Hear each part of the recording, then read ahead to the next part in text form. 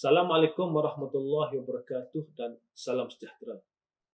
Kita sedar bahawa dalam tempoh banjir besar yang kita lalui, ramai murid-murid yang terjejas akibat banjir.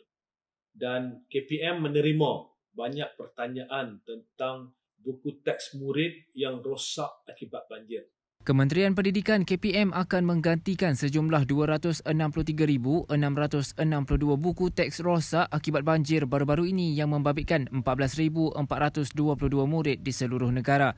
Menteri Kanan Pendidikan Datuk Dr. Razi Jidin berkata pihaknya mempunyai stok mencukupi untuk menggantikan buku teks yang rosak berkenaan. Berdasarkan rekod yang ada pada KPM sehingga ke hari ini, sebanyak 263,662 naskah buku teks yang rosak akibat banjir melibatkan 14,422 orang murid di seluruh negara.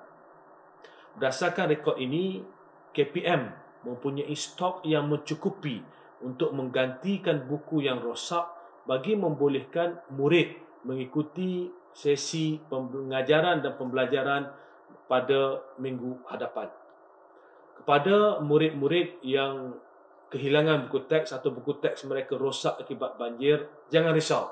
Anak-anak tidak perlu membayar ganti rugi di atas kerosakan buku teks tersebut maupun menggantikan buku teks tersebut. Guru-guru akan merekodkan jumlah buku teks yang rosak akibat banjir dan insya-Allah kita akan pastikan usaha untuk menggantikan buku teks ini dapat dilaksanakan segera bagi membolehkan sesi persekolahan minggu hadapan dapat berjalan dengan teratur dan lancar.